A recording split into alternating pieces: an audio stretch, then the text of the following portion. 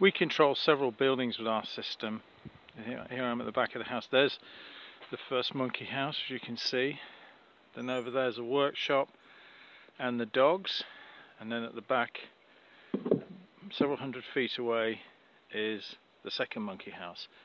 Wireless just does not work for this sort of thing. It doesn't do the distance. It's very unreliable. It can be hacked.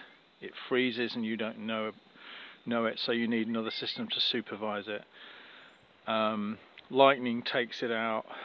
No serious control systems would use wireless for something that controls the environment for animals because as it freezes up and doesn't turn the heating off or doesn't turn the air conditioning on, you don't know anything about it. You don't know it's frozen up because it can't tell you.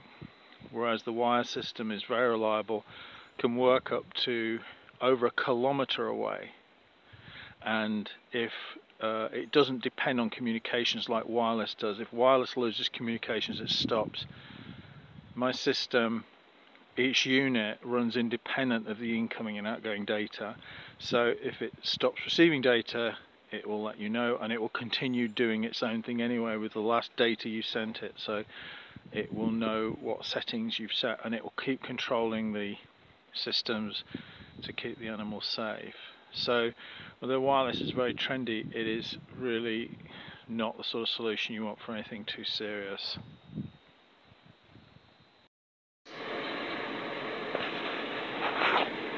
This is the end of line unit. This is the unit that controls everything in each one of the remote stations. This is the unit, in this case it's just screwed to some MDF and I'm going to use it just to switch power directly to some sockets so I've mounted this here.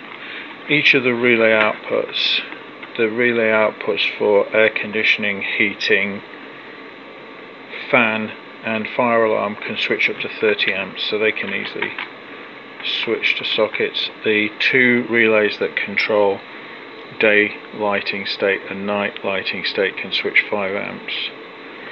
So these could be used uh, to control bigger systems if you so wanted but I'm just going to put sockets on here feed some 110 in and use them to switch to small heaters and small window air conditioning units that we use.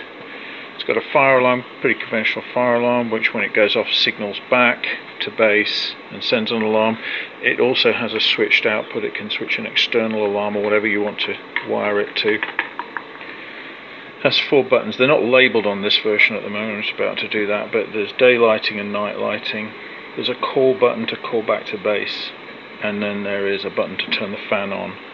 The software is configured that it stays in automatic temperature control mode unless you want to turn the extract fan on, in which case it will go to manual mode for 10 minutes and then go back to auto and turn the fan off. So if you were to spill something and need to switch it on quickly, just press the button and then it will take over 10 minutes later and go back to its natural state. It connects back to the base via a standard Cat5 cable and um, the driver unit and the lightning suppressor are here so that if you were to get a direct lightning strike you could just unplug it. There's a little ground strap you have to take off there. That's the lightning suppressor. Just plug a new one in. And then here's the driver unit. Same you can just unplug that plug a new one in. So they're very well protected but if you were to get a very close lightning strike it could pop it. But you can simply plug a new one in. This is the outlet for the speaker that gives you two-way communications the microphone is here so you can actually have two-way communications back to base um, you can also obviously hear what's going on a constant audio feed. There's also an audio level indication on the main control unit. And here's the temperature and humidity sensor. There are lights here which show audio level. When the audio level is too high, shows uh, which unit is switched on, the air conditioning, the heater or the fan.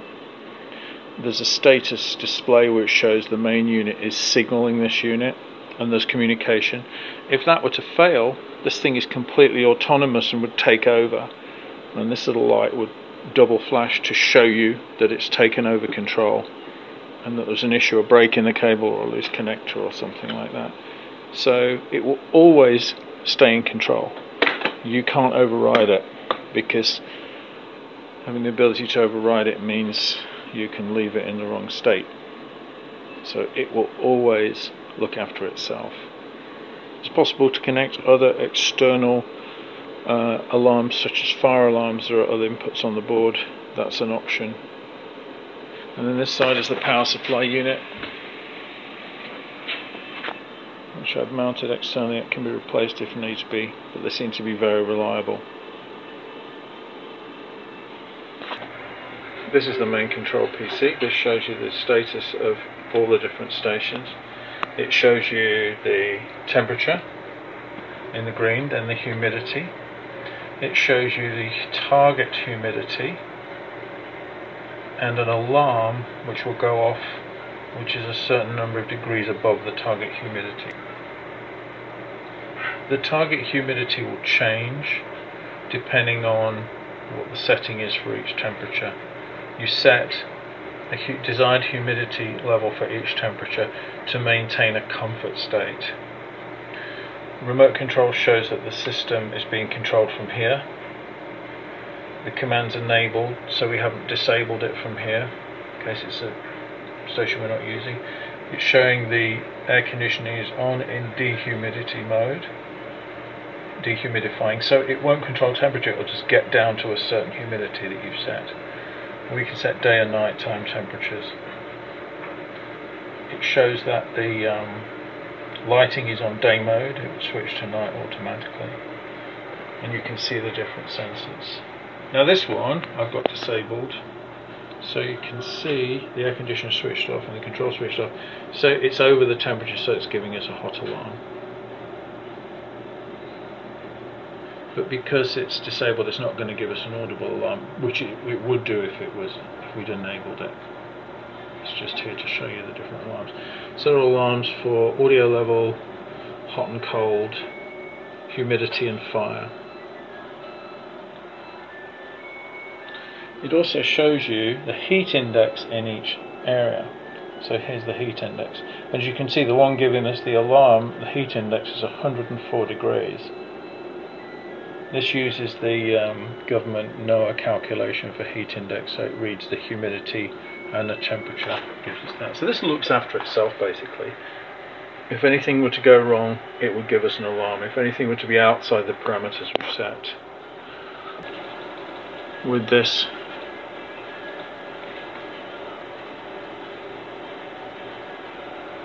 graph, we can see the temperature and humidity curves for each station with this graph.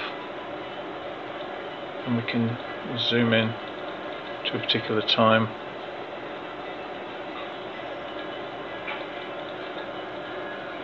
See all the different stations how they're tracking. If we add the one that's uh, disabled, we'll see the temperature's way off the charts there.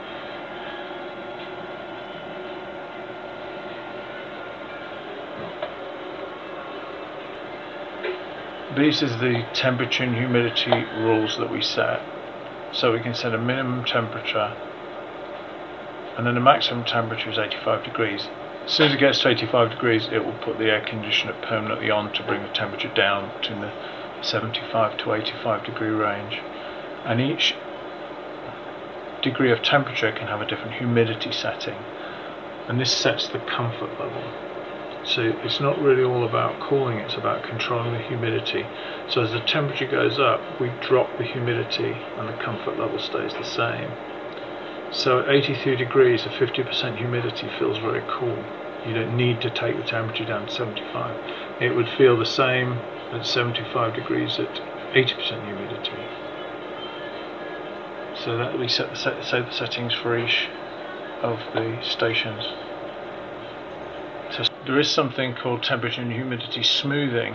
What that means is that if there was a very quick variation in the temperature or humidity because a door blew open and the wind hit the um, hit the sensor, rather than make the sensor less sensitive, which most systems do by attaching it to a big lump of metal or something so it can't heat up very quickly, we allow it to have a very rapid transition, but we don't allow it to change its reading to us very fast. We, we can track that it wants to.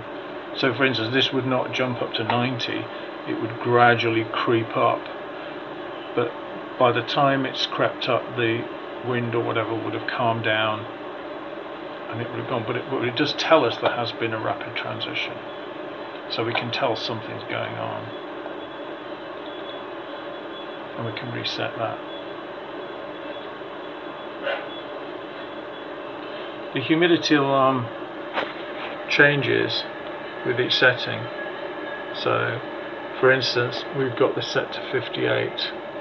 The alarm will go off if it reaches 69, 68, 69. So, as that this changes for each degree of temperature, the alarm level changes. So that it's always a certain number of percentage points above the desired setting. So there's a window within which everything is monitored. Oh, there's something else I forgot to mention. There's, here's the average audio level coming from each station. So if I were to take this one, and I was just press the button, send it some very loud audio. See it coming up. If it gets high enough, it would go orange. So let me try and talk to it. There you go. Use the microphone to talk that. It's gone orange now. It shows you it's a very high audio level. So if you've got a lot of noise coming in, you can't tell where it's from because all the sounds coming, the same sounds coming through a speaker, you can see from the audio level. And if there is an alarm, it will sound like this.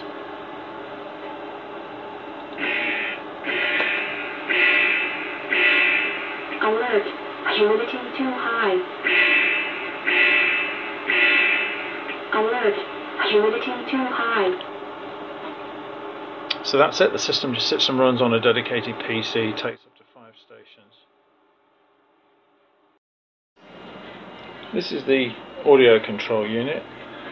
This allows us to listen to each of the stations, turn them up and down individually, and also to talk to any of them we just press the button here and we talk to them via this microphone. We can also feed an outgoing feed of audio, so in this case I've got some music playing so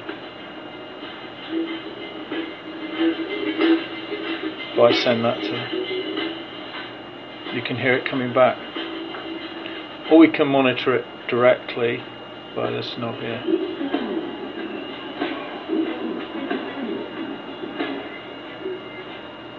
This allows us to set a mix of what we're listening to. So often the dogs are louder, so we'll turn those down, turn the monkeys up in our case, and to talk to any station.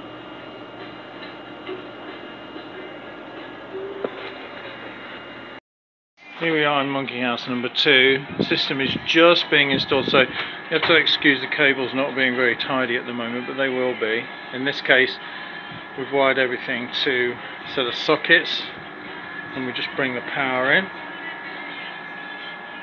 It runs this little air conditioner, an extract fan, and a heater, which is not here at the moment. They just plug into the uh, sockets. So we can see the blue light shows us that the AC is on. The yellow shows us that daylight light, uh, uh, daytime lighting is on. We can change that. We can put the nighttime lighting on, or we can switch it back on. After 10 minutes, the computer would take control of that. Now, if I ask for a bit more level in music,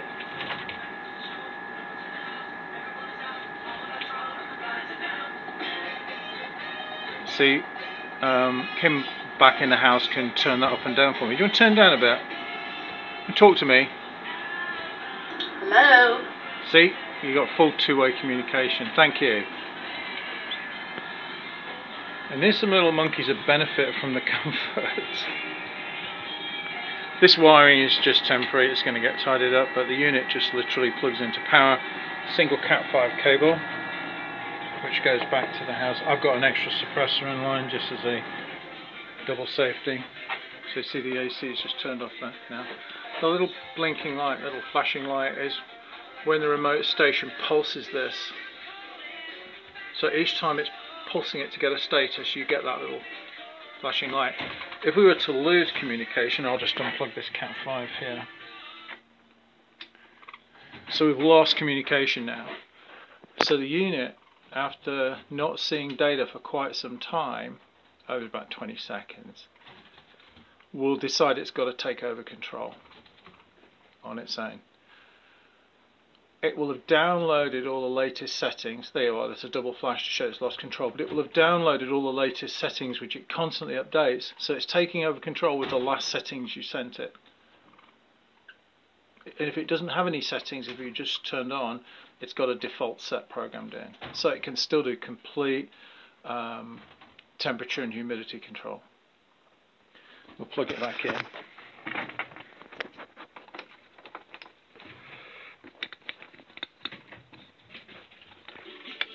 There we go. We'll plug back in now and you'll see it's getting a little sync itself up. It's got a status ping there from the main station. It's also got an audio level alarm for a lot of audio. The little red light flashes show it's very high audio. Just so you can check that it's working. So you just shout into it and then the red, the red light comes on. For bigger systems, these relay outputs could just be wired into control system rather than to actually handle power. So they they're just relay closures that can cope with they're just relay closures that can cope with anything. That's the system at work.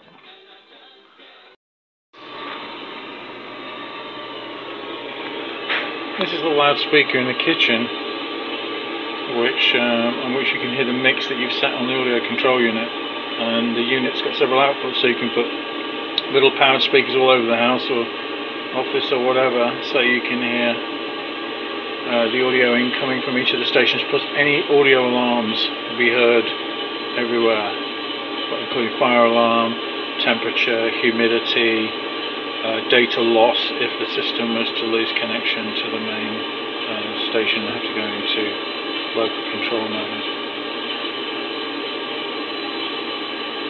You can also hear anybody um, wanting to communicate with you from the other end by pressing the call button, which sounds an alarm so you know to go to the main station and talk to them. This is one of the early prototypes, like most prototype electronics. It's what they call a breadboard.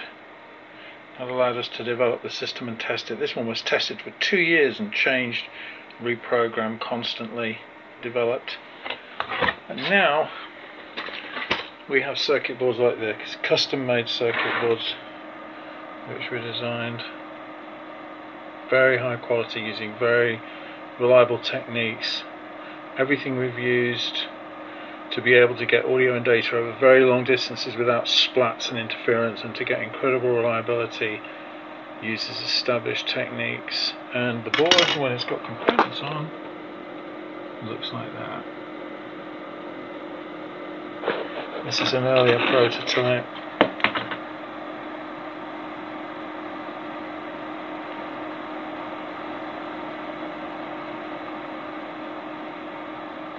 as you can see the standard is extremely high because we wanted that reliability, we wanted that production standard, we want to be able to switch it on and forget about it and it runs for years.